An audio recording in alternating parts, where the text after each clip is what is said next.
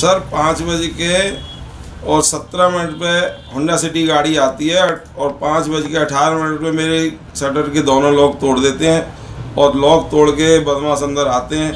मेरे काउंटर में से, मेरी अलमारी में से, मेरे केबिन में से सारा माल बोरे में भरते हैं और उनके पास हथियार भी थे सर और बोरे में भर के हथियार और ज्वेलरी सारी और सात आठ मिनट में गाड़ी में भर के होंडा सिटी में लेके चले जाते हैं। इस चोरी के बाद कितनी दहशत है पूरे इलाके में? कितने निराश भी हैं सर मार्केट में बहुत बड़ी दहशत है कि दिन दहाड़े ऐसे काम हो जाने सुबह पाँच बजे।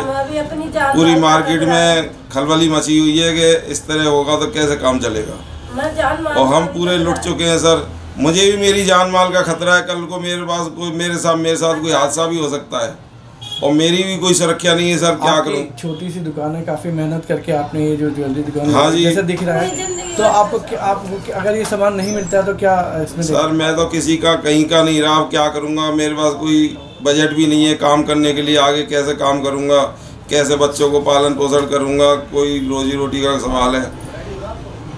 और अभी तक दिल्ली पुलिस ने कोई भी ऐसी कामयाबी नहीं मिली है जो हमारे को ये किया होगा ये हमने पकड़ लिए चोर या तारीख के करीब की वारदात है चौदह तो- चौदह तारीख को सुबह सवा पाँच बजे। आज पंद्रह दिन हो गए हैं तो पंद्रह दिन एक बार भी नहीं बुलाया। नहीं एक दो बार बुलाया है लेकिन यही कहते हैं हाँ जाँच कर रहे हैं इसका इतना ही बोलते हैं। लेकिन जाँच में अभी कुछ ये नहीं बता रहे कि क्या हुआ क्या नहीं हुआ।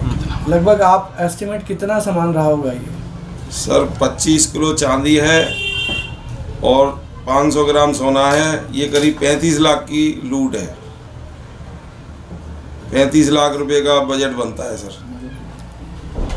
35 लाख अगर देखा जाए तो एक आम आदमी के लिए कम रकम नहीं है पूरी सर तो ज़िंदगी भर की पूंजी जो है वो चली गई है।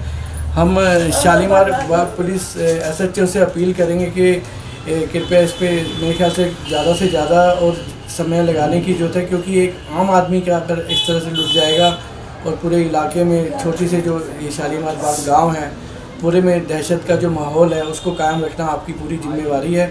हम आपसे अपील करते हैं कि चैनल के माध्यम से भी और एक आम नागरिक के माध्यम से भी, कि इनको जल्दी से जल्दी आप न्याय दिलाने में सक्षम हो। बहुत बहुत धन्यवाद।